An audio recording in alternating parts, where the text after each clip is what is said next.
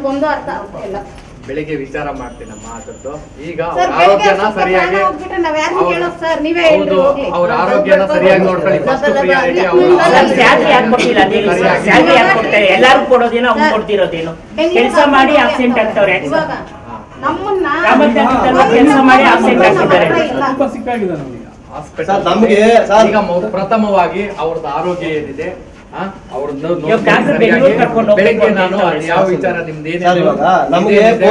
ನೀವು.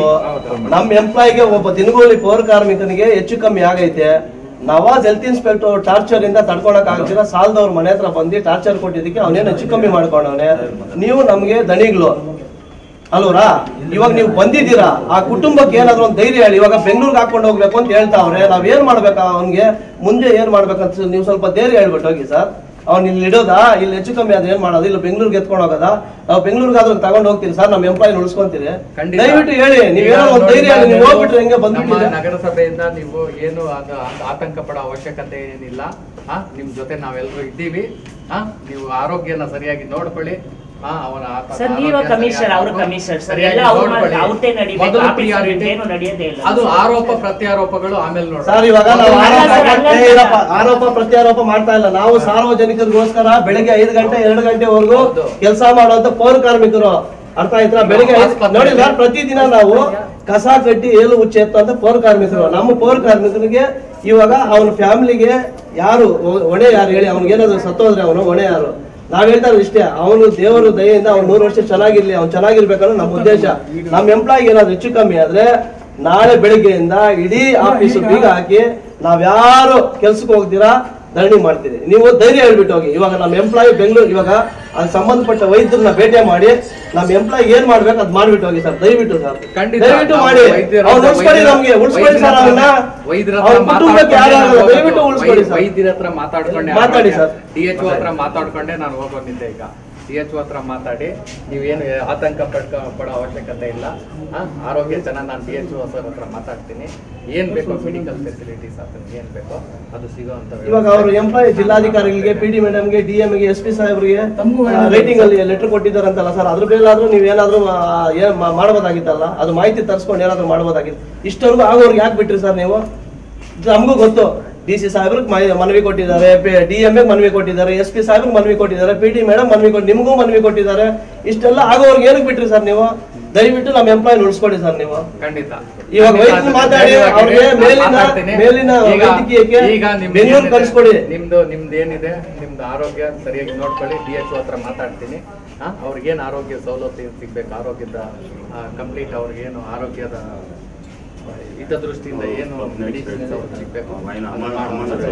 ನೋಡಿ ಸರ್ ಇವಾಗ ಇವಾಗ ಇಲ್ಲಿ ನೋಡಿ ಅವ್ರ ಹೆಂಡತಿ ಮಕ್ಳು ಇದ್ದಾರೆ ಅವ್ರ ಮೇಲೆ ಏನ್ ಆಕ್ಷನ್ ತಗೊಂತೀರ ನೀವು ಹೇಳ್ಬಿಟ್ಟು ಹೋಗಿ ಸರ್ ಆ ಹೆಲ್ತ್ ಇನ್ಸ್ಪೆಕ್ಟರ್ ಮೇಲೆ ಹೇಳಿ. ಅದನ್ನು ಪರಿಶೀಲನೆ ಮಾಡ್ಬೇಕಾಗುತ್ತೆ ನಾನು ನಾಳೆ ನಾಳೆ ಅದನ್ನ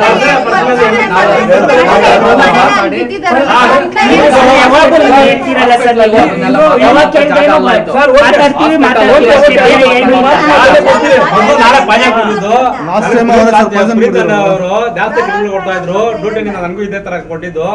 ನಾನೇ ಪಾಜಾ ಕೊಟ್ಟಿದ್ದು ಮತ್ತೆ ನಾನು ಕೂಡ ಇಟೋರಿಗೆ ಹಾಕಿದ್ರು. ನಾನು ಹದಿನೈದು ದಿನ ಇಪ್ಪತ್ತು ದಿನ ಆಟೋ ಇಟೋರಿನಲ್ಲಿ ಇದ್ದೆ ಕೋಮಾದಲ್ಲಿದ್ದೆ. ಈಗ ನಾನು DSO ಹತ್ರ ಜಾಸ್ತಿ ಮಾತಾಡ್ತೀನಿ. ಅವ್ರಿಗೆ- ನಿಮ್ಗೆ ಯೂಸ್ ಮಾಡ್ತೀನಿ. ಈಗ ಇದು ವಿಚಾರ ಎಲ್ಲವನ್ನು ನಾಳೆ. ಬೆಳಿಗ್ಗೆ ನಾವು ಧರಣಿ ಕೂತ್ಕೊಂತೀವಿ ಆ ಹೆಲ್ತ್ ಇನ್ಸ್ಪೆಕ್ಟರ್ ಕೋಲಾರ ನಗರಸಭೆಯಲ್ಲಿ ಸರ್ ಅಲ್ಲಲ್ಲ ಅವ್ರು- ಬೆಳಿಗ್ಗೆ ನಾನು ಜಿಲ್ಲಾಧಿಕಾರಿಗಳ ಜೊತೆ ಮಾತಾಡಿ ಅಲ್ಲ ಸರ್ ಅವ್ರನ್ನ ಅಮಾನತ್ ಮಾಡ್ಲೇಬೇಕು. ಶಾಸಕರ ಮಾತುಗಳು ಗೌರವ ಕೊಡಲ್ಲ ಅವರು. ನಿಮ್ಮ ಮಾತುಗಳು ಗೌರವ ಕೊಡಲ್ಲ. ಬೆಳಿಗ್ಗೆ ನಾನು ಜಿಲ್ಲಾಧಿಕಾರಿಗಳ ಜೊತೆ ಮಾತಾಡಿ ಏನು ಸರ್, ಜಿಲ್ಲಾಧಿಕಾರಿಗಳಿಗೆ ಲೆಟರ್ ಕೊಟ್ಟಿದ್ದಾರೆ. ಅವ್ರು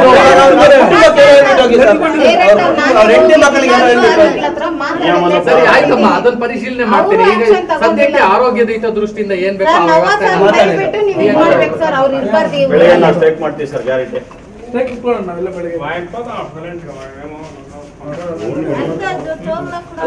ನಮ್ಮ ನ್ಯಾಯ ದೊರಕಿದ್ರಿಂದ ನಮ್ಮ ಏನೇ ತೊಂದ್ರೆ ಸರಿ. ಹೋರಾಟ ಮಾಡ್ತೀವಿ. ಅಲ್ಲ ಸರ್ ನಿಮ್ಗೂ ಹೇಳಿದ್ದೀನಿ ಜಿಲ್ಲಾಧಿಕಾರಿಗೂ ಹೇಳಿದ್ದೀನಿ ಎಲ್ಲಾರ್ಗು ಹೇಳಿ ಕೂಡ ನಮ್ ಸಂಬಳ ಮಾಡ್ಕೊಡ್ತೀರಾ? ನಾವು ಸಾಲ್ಗಾರ್ ಸರ್ ಮನೆ ಹತ್ರ ತಂದು ಸಾಲ್ಗಾರ್ ಅವರು ನಮ್ಮನ್ನ ಮುಗಿತಾರೆ. ಬಂದು ಕೇಳಿದಕ್ಕೆ ನಾವು ಏನು ಮಾಡಲ್ಲ ಏನ್ ಮಾಡ್ತೀರ ಮಾಡ್ಕೊ ಹೋಗಿ ಅಂದಿದ್ದಕ್ಕೆ ಅವ್ರು ಈ ಪರಿಸ್ಥಿತಿಯಲ್ಲಿ ಬಂದಾರೆ ಇವಾಗ ತಾವು ಅವ್ರೇನಾದ್ರು ಆದ್ರೆ ನನಗೂ ನನ್ನ ಮಕ್ಕಳಿಗೆ ಯಾರು ಹೊಣೆ ಆಗ್ತಾರೆ ಸರ್ ನೀವು ಇದೇ ಮಾತು ನಾನು ಅವತ್ತು ಬಂದ ಚೇಂಬರ್ ಅಲ್ಲಿ ನಂಗೆ ಹೇಳಿದ್ರೆ ವಿಚಾರಿಸ್ತೀನಮ್ಮ ಅಂತ ಹೇಳಿದ್ರೆ ವಿಚಾರಿಸಿಲ್ಲ ಸರ್. ಪರಿಸ್ಥಿತಿ ಇವಾಗ ಸಾಯೋ ಪರಿಸ್ಥಿತಿಯಲ್ಲಿ ಬಂದಿದ್ದಾರೆ ಸರ್. ಅಲ್ಲಪ್ಪ ಏನ್ ಮೋಸ ಮಾಡ್ತಾರೆ ಯಾರಿಗೆ ಊಟದಲ್ಲಿ ಹುಳ ಇರೋ ಸರ್.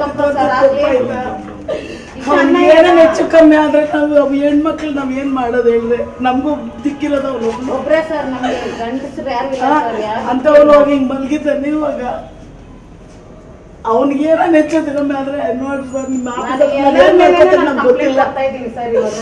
ನಾನು ಎಲ್ಲರಿಗೂ ಕೊಟ್ಟಿದ್ದೀನಿ, ಮುಂಚೆನೆ ಹೇಳಿದ್ದೀನಿ, ಸರ್, ಈ ಥರ ಆಗ್ತಾ ಇದೆ ಅಂತ ಹೇಳಿದ್ರೆ ಯಾರು ನಮಗೆ ಮಾತಿಗೆ ಬೆಲೆ ಕೊಟ್ಟಿಲ್ಲ ನಮಗೆ. ನಾವು ದಿನಾ ಬಂದು ಕೇಳ್ತೇವೆ, ನಮ್ಮ ಮನೆಯವ್ರು ದಿನಾ ಬಂದು ಅಳ್ತವ್ರೆ.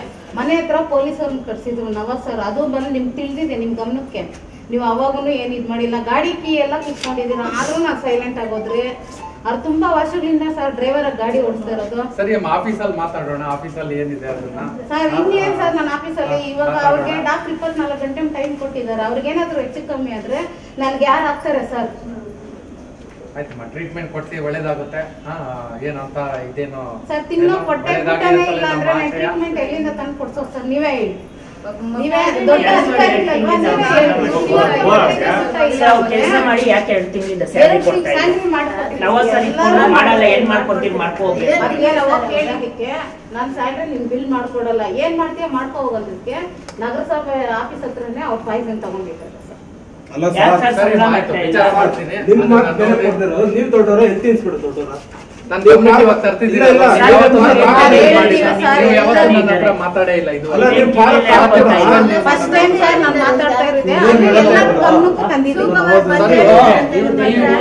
ಮಾತಾಡ್ತಿರೋದು ಇವತ್ತೇ ಫಸ್ಟ್ ಟೈಮ್ ಇದಕ್ಕೂ ಮುಂಚೆ ನೀವು ಅವಾಗ್ಲೇ ಹೇಳ್ದಾಗ ಅಲ್ಲ ಸರ್ ನೀವಲ್ಲ ಕಮಿಷನರ್ ಆಗೋಗಿದ್ದಾರೆ ಇವರೆಲ್ಲ ಕಮಿಷನರ್ ಆಗೋಗಿದ್ದಾರೆ ಇವರಲ್ಲ ಕಮಿಷನರ್ ಅಲ್ಲ ನಿಮ್ ದೊಡ್ಡ ನವಾಜ್ ಸರ್ ಇವಾಗ ಆಫೀಸಲ್ಲಿ ಆಗಿರೋದೇ ಅಲ್ಲ ಸರ್ ಕೇಸ್ ಬುಕ್ಸ್ ನೀವ್ ಕೇಸ್ ಬುಕ್ ಇವ್ರು ಏನನ ಹೇಳಿ ಏನೋ ಒಪ್ಕೊಂಡು ಹೊರ್ಟೋಗ್ತಾರನ ಏನನ್ನ ಹೇಳಿ ಯಾವಾಗ ಬರೋದು ಹೊರ್ಟೋಗಿ? ಒಬ್ಬ ಕಮಿಷನರ್ ಹೇಳ್ತಾ ಇದ್ರೆ ಕೂಡ ಏನು ಮೇಲೆ ಹಾಕೊಂತೀರಾ ಹೋಗ್ತವ್ರೆ. ನಮ್ಗೇನಾದ್ರೂ ಹೆಚ್ಚು ಕಮ್ಮಿ ಆದ್ರೆ ನನ್ನ ಗಂಡನಿಗೆ